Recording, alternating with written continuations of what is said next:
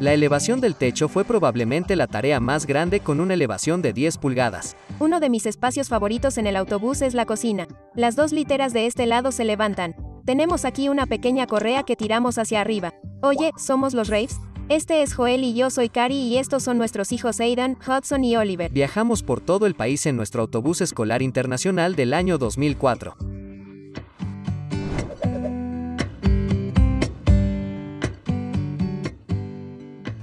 Bienvenidos al interior del autobús.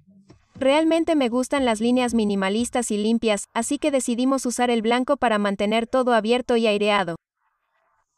Optamos por un gran espacio abierto con una barra que se puede plegar. Es como un simple clic. Todo se pliega para que tengamos más espacio pero la mayor parte del tiempo está levantado. A Joe le gusta trabajar aquí en un rincón y los niños se sientan y hacen sus tareas escolares. Dos de ellos lo harán y luego Aiden se sentará en el sofá con un pequeño escritorio portátil para hacer su tarea escolar. Entonces, el sofá lo diseñamos con almacenamiento adicional debajo para que cada uno de los niños tenga su propio contenedor. Nuestra regla era algo así como que los juguetes se traen y lo que cabe en el contenedor es lo que se puede conservar. Si se llena el contenedor mientras viajamos, simplemente lo vendemos y también ponemos tres cinturones de seguridad aquí para los niños mientras viajamos. También tenemos un mirador en la esquina donde me siento. Eso también tiene un cinturón de seguridad. Una de las cosas que realmente me gusta es todo el almacenamiento que tenemos aquí. Joel hizo un muy buen trabajo redondeando la parte trasera de estos gabinetes para que pudiéramos montarlos y tener todo este espacio. Los libros escolares de los niños están todos colocados aquí. Tenemos estas redes que recomiendo encarecidamente. Sí, simplemente dan vueltas. Así que los agregamos y funciona muy bien, pero también ayuda a mantener las cosas organizadas como las cosas más pequeñas para los niños para que funcione. Uno de mis espacios favoritos en el autobús es la cocina. Me encanta cocinar y hornear. Quería un fregadero grande, bastante grande, así que investigué bastante y encontré el fregadero estilo RV más grande que pude. Es agradable y profundo, por lo que puedo colocar muchos platos en su interior, en realidad más de lo que piensas. Y luego, hacia la estufa, también encontré la estufa para vehículos recreativos más grande que pudimos y es de propano, que estaba acostumbrado a cocinar con electricidad, pero realmente me encanta el propano. Simplemente cocina y hornea mucho mejor. Este es un refrigerador del tamaño de un apartamento y tiene 120 voltios. Lo que hemos hecho cuando viajamos es poner estos seguros para niños porque las puertas tienden a abrirse. Si no tienes eso ahí, la mitad superior es un congelador. Me gusta mantenerlo abastecido con muchas verduras y muchas proteínas. Con tres niños en crecimiento, se come mucho. En mi opinión, la forma de mantenerlo organizado es simplemente planificar las comidas, lo que me permite tener exactamente lo que necesito a mano. Hace que las comidas sean mucho más fáciles, ya que no tenemos exceso de cosas por ahí. Entonces, sí, podemos permanecer fuera de la red prácticamente sin paradas para comprar comida durante 7 a 10 días. Para organizar, elegí el cocinero casero de Alcarabea como si fuera un juego de cocina solo porque tienen un almacenamiento tan fresco como el soporte de la tapa en la puerta y luego en el gabinete tienen como pequeños soportes que sostienen todas las ollas, sartenes y cosas.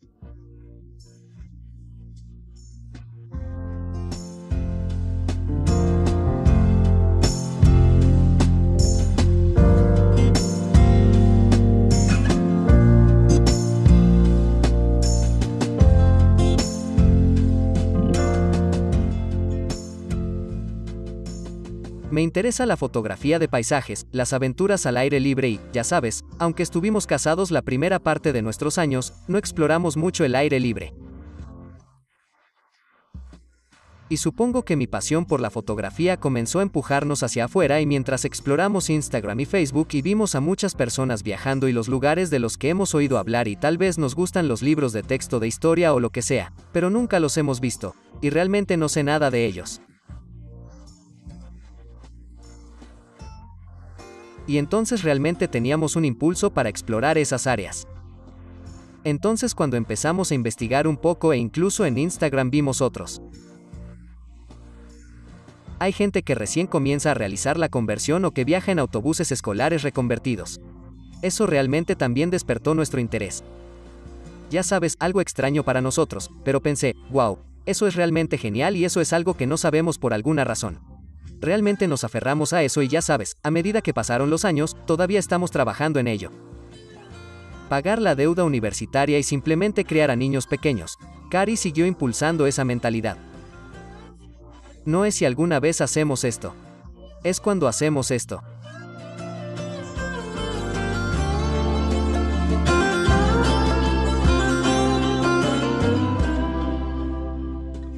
Probablemente una de las cosas más difíciles de aprender y comprender para la construcción fue la plomería, ya que no teníamos conocimiento previo de ella. La forma en que estamos instalados es debajo de este lado de la cama, tenemos un tanque de agua dulce de 100 galones y tenemos la bomba y el calentador de agua también debajo. Eso se encarga de toda la plomería y la presurización. En la ducha tenemos agua caliente, agua fría y tenemos un fregadero pequeño y luego el inodoro de compostaje. Así que también tenemos una bacha separada solo porque queríamos poder lavarnos las manos después de ir al baño y es una ducha pequeña y probablemente allí arriba podríamos haber cambiado cualquier cosa en el tamaño de cualquier cosa o simplemente en el diseño. Ha sido del tamaño del baño en sí, pero es manejable. Es funcional con nosotros y con la naturaleza es turba que ponemos en el inodoro y cada vez que la usamos, tenemos que girarla. Y realmente nos ha funcionado muy bien un filtro de aire que simplemente lo seca y elimina el mal olor y realmente no lo olemos con tanta frecuencia.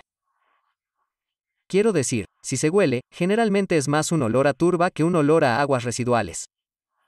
Y estamos muy contentos con eso y luego tenemos el desviador de orina, por lo que el desviador solo tenemos que tirarlo cada dos días. Y en general estamos muy contentos con él. No es tan complicado como pensábamos que podría ser. Entonces, como parte de la parte eléctrica, e, con la construcción, casi todo el cerebro está en este gabinete. Así que conseguimos seis baterías de batalla que son todas de 100 amperios hora y las conectamos entre sí a un sistema de 24 voltios, lo que nos proporciona 300 amperios por hora a 24 voltios. Prácticamente todo funciona gracias a la energía solar de 2000 vatios del tejado. Cuando vamos conduciendo por la carretera, también tenemos cableado conectado a las baterías de nuestros autobuses. Entonces, incluso en un día nublado con lo que estamos usando con las luces y los electrodomésticos, probablemente podría aguantar unos tres días.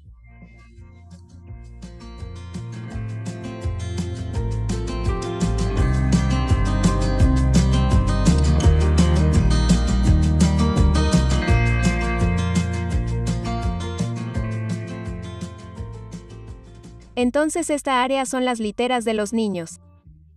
Cada uno de los niños tiene su propia litera separada a la que llaman su pequeño espacio. Mientras viajábamos por aquí, les hice a cada uno una cortina que pueden cerrar. Cada litera tiene un tamaño personalizado y tenemos colchones de custommattress.com. Cada vez que hacemos Nuestros libros de guardabosques nos dan una insignia. Guardo aquí mis insignias de los parques y monumentos. Aquí es donde tengo mi matraca y mis piedras están aquí y voy a intentar coleccionar carteles y cosas para colgar en la pared de mi habitación una vez que terminemos de vivir en el autobús. Y aquí abajo solo tengo algunas chucherías y esas cosas. Las dos literas de este sí las levanto. Tenemos una pequeña correa aquí que levantamos y ahí es donde guardamos todo nuestro equipo de invierno y nuestro equipo de mochilero. Ropa adicional, las diferentes estaciones cambiarán las cosas. Entonces eso funciona muy bien. Esta es la bonita zona de dormitorio de Joel y yo.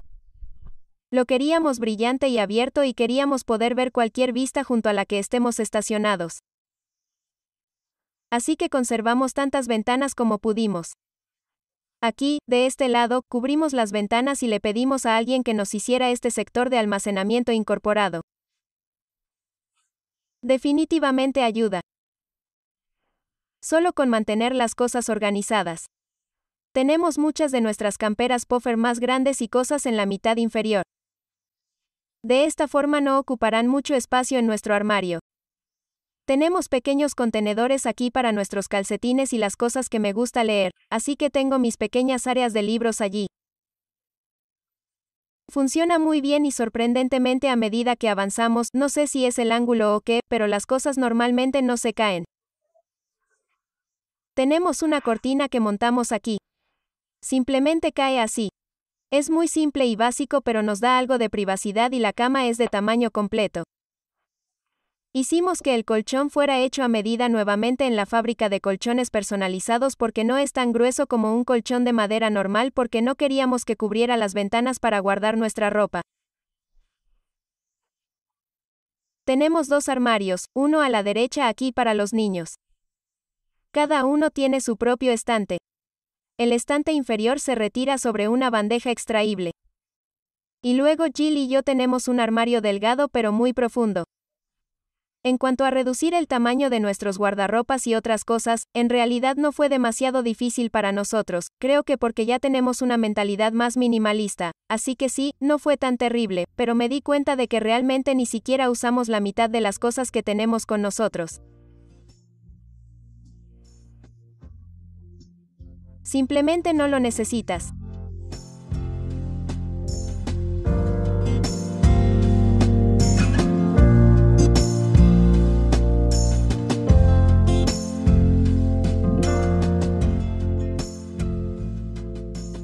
Viajando en familia con tres niños.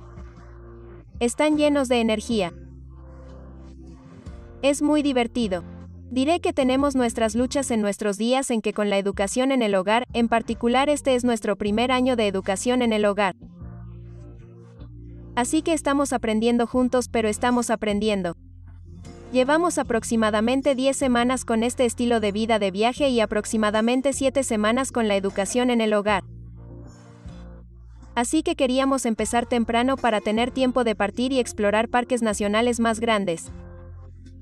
Podemos tomarnos una semana entera de descanso si queremos y estamos un poco más adelantados de lo previsto. Entonces eso funciona bien viajando con tres niños, una de las cosas más gratificantes es ver cómo se iluminan sus caras cuando ven algo nuevo como el enorme y vasto paisaje de las montañas. Y su reacción ante eso es definitivamente mi parte favorita.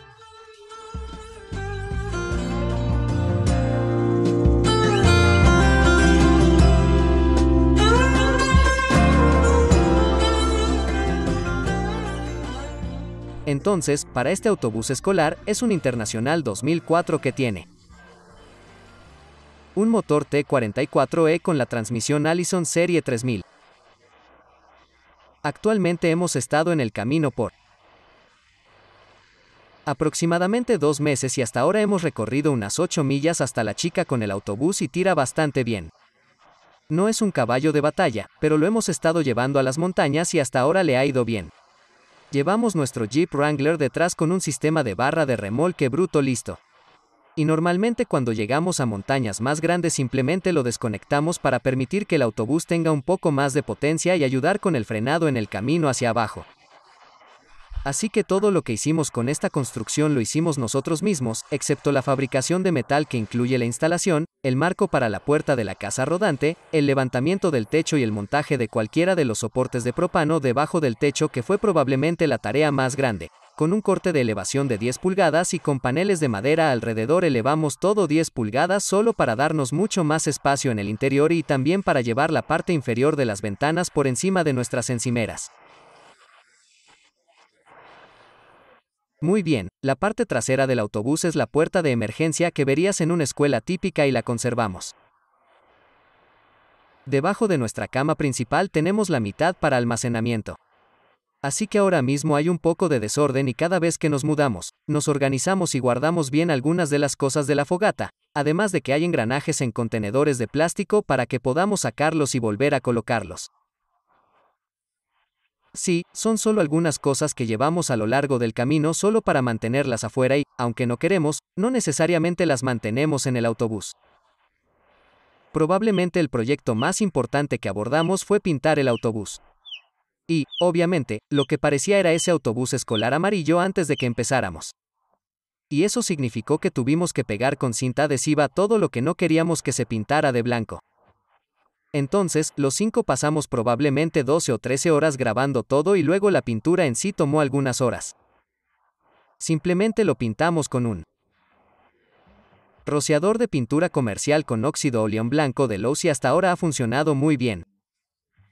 Se ven algunas astillas en el camino, pero nada que no podamos rociar sobre él para un retoque y, sí, nos ha ido bien.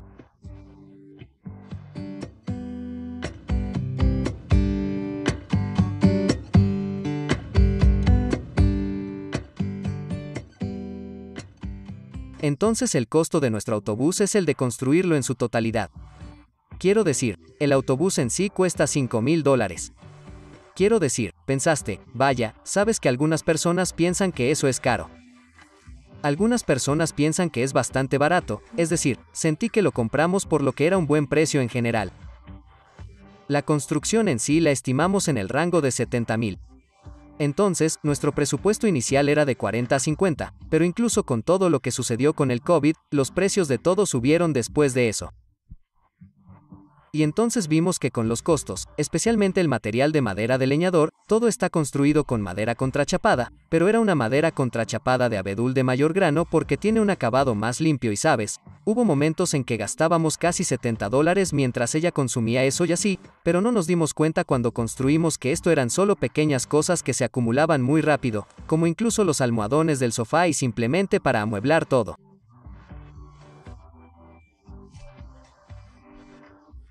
Quiero decir, fueron unos pocos miles solo para equipar el autobús. Sabes, definitivamente fue más de lo que esperábamos porque es difícil pensar en pequeñas cosas, pero en parte fue como si estuviéramos haciendo esto por tanto tiempo. Quiero decir que queríamos asegurarnos de que íbamos a ser felices con lo que fuera, sin arrepentimientos y creo que en este punto no ha habido ninguno. Muy bien, gracias por acompañarnos en esta aventura y apreciamos que vean este video. Estamos viviendo el alto rave, estamos en Instagram, Facebook y estamos iniciando YouTube y todos esos enlaces estarán en la descripción a continuación y sí, les agradezco a todos y nos vemos allí. Está bien. Adiós.